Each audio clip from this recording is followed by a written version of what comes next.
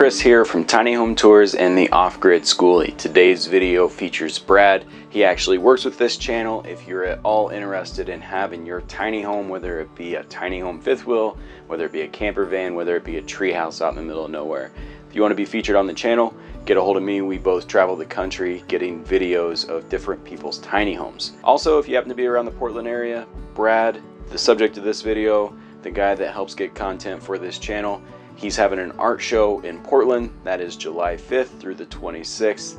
He's a photographer. He travels the country just capturing the beauty of this country. Very talented guy. Uh, all the info will be linked down below. Thanks for watching, and we will catch you Friday. I'm Brad, and this is the Average Sportage. I live in my 2007 Kia Sportage, and I live in it full time. I'm a graphic designer and photographer, and I'm traveling across the U.S. taking pictures and doing design work to make money. And uh, this is my rig. So this is the rear. Um, I've got my water, cutting boards, cook uh, plates. I got a bowl back there, some uh, pots and pans. And then here's my stove. To cook, I have to lift up the bed. The bed folds up and comes out right here. This then becomes a kitchen table or counter, whatever you have it. Um, I pull out my stove, open it up.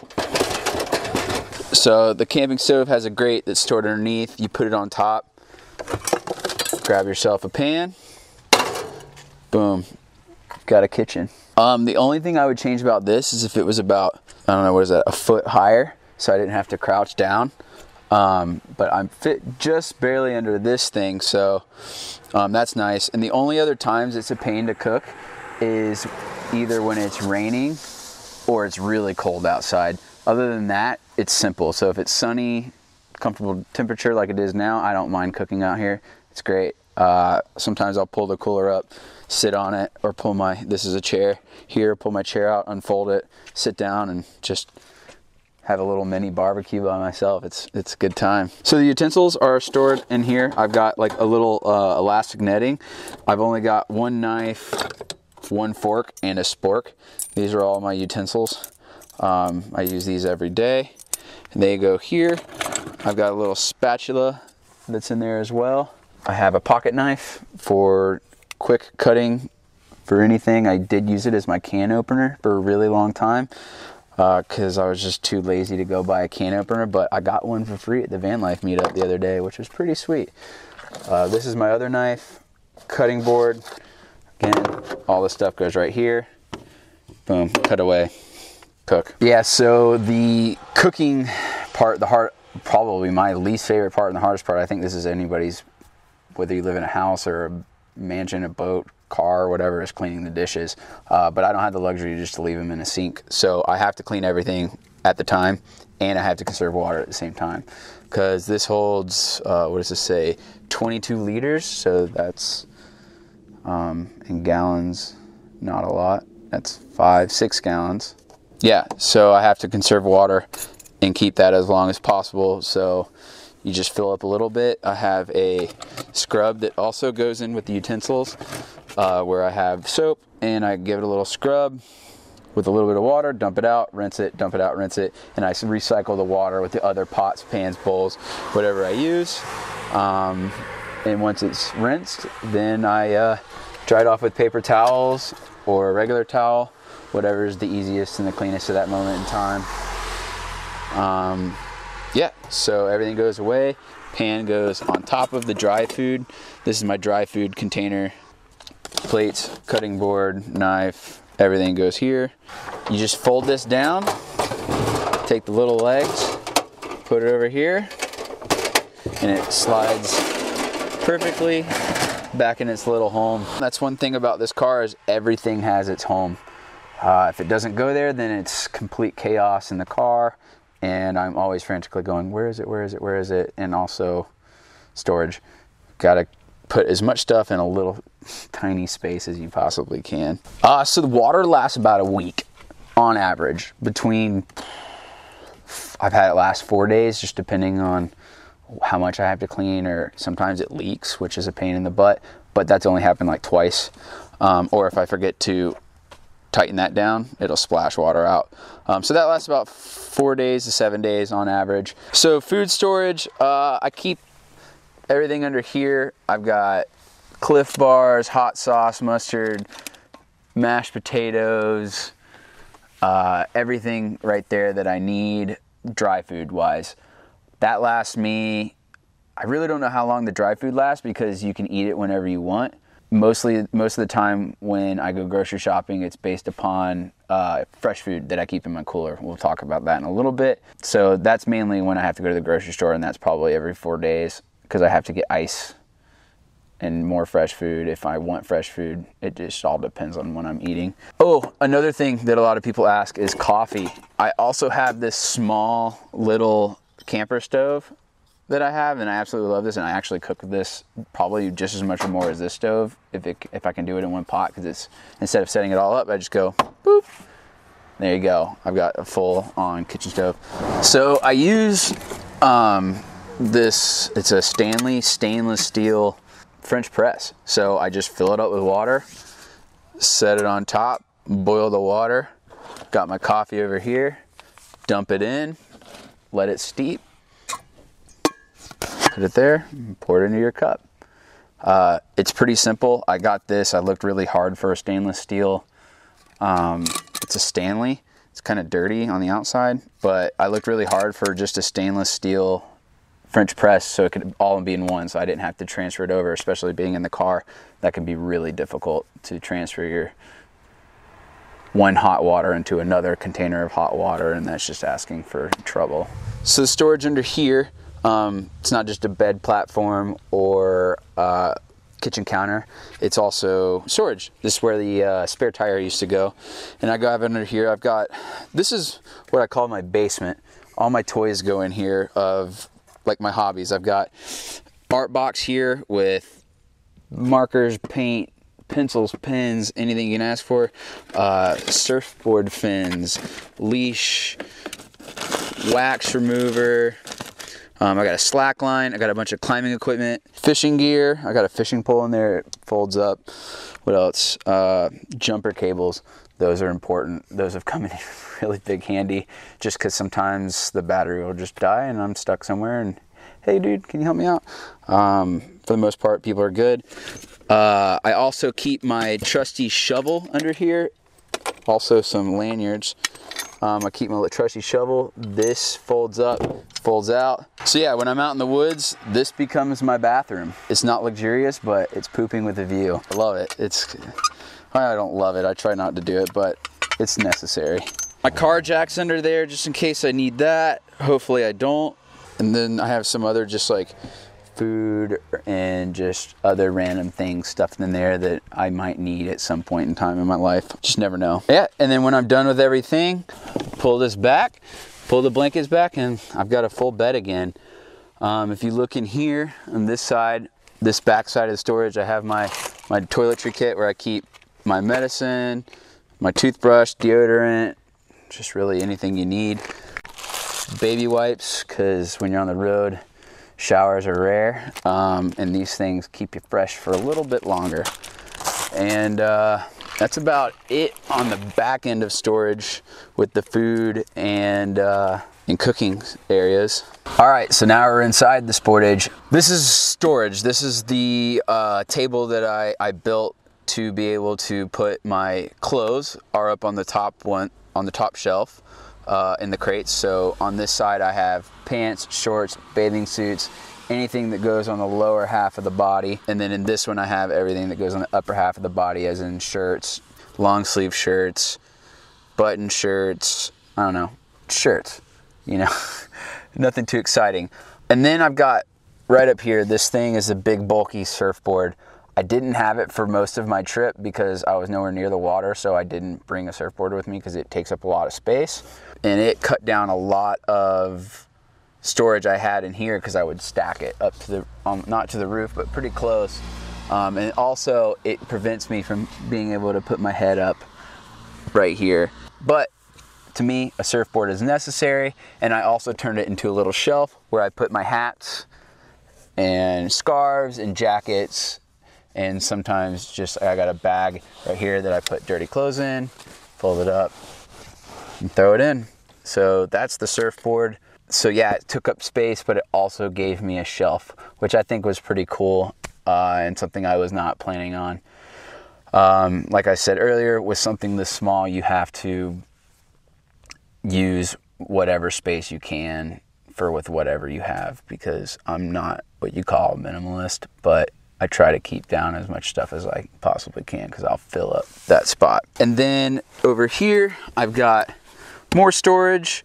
This is miscellaneous things. This is my, this is sunscreen. I got shampoo in there, first aid kit. I, I keep books in there, speakers, tape. Duct tape is a huge one. I always keep that within reaching distance because you never know what you need to duct tape.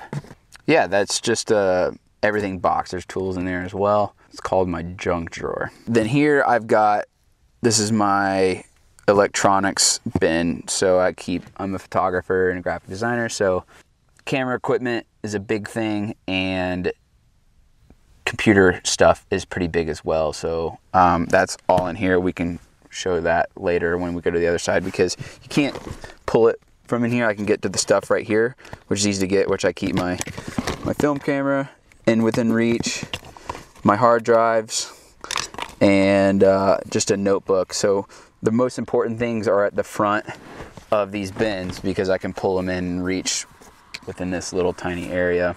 And then we'll move to some of the stuff. I kind of use the ledge as a storage area. So like my headlamp goes here. I have a carabiner with my bear spray because uh, when I was in Wyoming, I got bear spray. Luckily, I didn't have to use it, but it also is kind of a good safety feature to have in the car. So if somebody's trying to get at me, I can just spray them with bear spray. And then I have this this knife. Uh, this is probably the only sentimental thing I brought on the trip, um, just because I love it so much and I use it, uh, and that stays there. So that's this side of the car. On this side of the car, this is my office. This is where I get work done. Um, I can lean back in my bed and type away. It's pretty nice. Yeah, it's pretty comfy and cozy. It's not a lot of room, but I think you learn if you're in here by yourself, you don't need very much room. It's like a little cozy cocoon. And then my office just goes back right here for another day of work. So the bed, uh, I got the bed on Amazon and it's a trifold memory foam mattress. It's probably one of the things I invested most in with doing this because I knew being in a small confined space that a really comfortable bed would make the make or break the entire trip. So uh, it folds up, but I usually only use the folding part to lift up the uh, the back portion of the bed and it's just wide enough because this is something to do with the car. I'm pretty sure it's the shock or the suspension that goes through right here. So this takes up a lot of room. This is actually kind of a pain in the ass for doing what I'm doing, but it's just the way it is. So this is the thinnest point and the bed is perfectly wide enough to fit in here. It was like the bed was made for this build out. Another one of the tricks that I had with the bed is I and the bed are too long for the normal build of this car. So we had to push the front seat all the way forward and I had to build a table to be able to make the length as long as it needs to be for me. And like like I said, it just fits like a glove. I don't know how I got lucky, but I did. Really excited about how everything turned out with the bed because it could have been just a big pain in the butt and it wasn't. It was pretty pretty easy. I've got the cardboard cardboard shade because I didn't think I would use this window as much as I did when I backed out so I just permanently blocked this one out with a piece of cardboard. I was going to paint it but just haven't gotten around to it so I cut out a piece of cardboard that fits in this window and I stuck it in there and so that blacks it out. People can't peek in on me through this window. Um, the other windows have curtains, but that one and the, the one on the other side, which you can't really even see, also has a blackout um, cardboard on it. Other than just this, I have curtains that cover all the windows, um, even a divider. One covers the back window, and then I have some that cover these windows. So I'll show you how those work. Um, you close the door. Um, I have them on snaps, so you unsnap the curtain here. All three snaps. Comes down, and then you just snap it to the door here and here. And that's some privacy. Uh, the other ones go all the way over, and then the divider will come run around through. And I got my map of the world. I love old maps, and to find fabric for these of old maps was pretty interesting. So I always find myself just staring at it and trying to find new cool things about it. That's probably one of my favorite things that I did with the build out was making that a map. So yeah, so then the divider curtain, which is probably one of the most important, it's run by Velcro, which goes up here, and you just run it along. Again, the surfboard got in the way, but it's necessary. And you tape it up like that and can't see me. Pull it down in the morning. And then it just goes into a little spot right there. Good to go. So, uh, like I said, we have to take the passenger seat and move it all the way forward. No one's riding in here with me anyways. And if they do, they ride in the bed. But uh, I had to push this all the way forward and under here is the extender table that I've made. Um, it's kind of got some fuzzies on it from the bed. Um, but yeah, this is my table. Yeah, so this helps me sleep comfortably without being in a ball all the time and I can extend my feet out and it doesn't touch. Again, things got lucky. I'm six feet tall and I think the space is six one. So again, just got lucky with the whole thing. Also under here, I have my electronic components. So this lifts up and I've got my battery, a thousand watt inverter, and a little power strip with my iPhone cord plugged in now. I mainly got it so I could charge my phone, my camera, and uh, my computer if I needed to. Uh, the power doesn't hold as long as I thought it would to do the computer all the time, but it gets the job done. Um, I can always start the car and charge the computer that way, or just charge it while I'm driving, which is which is nice. Uh, I don't have solar. I use a a um, what is it called? A battery isolator that's underneath the hood that is charged through the uh, alternator. So, yeah, gets job done. I got power and electricity that doesn't have to do with the cranking battery because I need that more than really anything so I can drive from point A to point B. And that's my electrical system. Put this back down, make the bed back. A lot of this is moving things from one spot to the next spot to be able to get into the whatever you need to get into. You get used to it. So up here, we have my cooler where I keep my food that needs to be cold or fresh or whatever you want to use it for. Uh, it's a Yeti cooler. It keeps ice for four days, depending, maybe three days for a bag of ice, but a block of ice usually lasts me about a week. So I try to find blocks, which are harder to find than you think they are. But uh, so yeah, you can just pop it in here, put your food. I got cheese, I got eggs, I got some leftovers in here and it's like I feel like this is MTV Cribs. Yo, this is my fridge. This is where I keep all my stuff, my snacks. Got them avocados all day. Yeah, so uh, right now there's a couple things in here, not too much, but it just keeps things fresh and it's an alternative to having a you know a refrigerator because um, I just don't have the the power to um, to run a refrigerator or a freezer, so I have to use this. And it works. I would say it's kind of a pain sometimes having to go, okay, I need ice, I need ice, and then sometimes you're just not in a place to do that and you kind of have to eat all your food or it goes bad. I feel like I've thrown out more food than I should have, um, unfortunately, but I eat more than I throw out a lot more. So, so to restock ice, that's probably the reason I go to the grocery store most of the time is for ice um, and I'll just restock it. A lot of things that I do as well is uh, grocery stores will throw things up on the shelves that are about to go bad within three to four days, anyways. So usually I buy that because it's on super cheap sale and it just goes in with the ice, and so that that process of needing food and buying ice goes in within three to five days. So I'm at the grocery store quite a bit, but they're also a good place to use the restroom because most grocery store bathrooms are really clean. And uh, I either use the woods or public bathrooms. So that's also a really good plus. So I like grocery stores, they're a good place. And sometimes they're good time killers. Yeah, so up here I've got a skateboard, some extra snack food, some laundry detergent. Uh, this little bar, I have my extra like phone battery charger. It fits perfectly right there.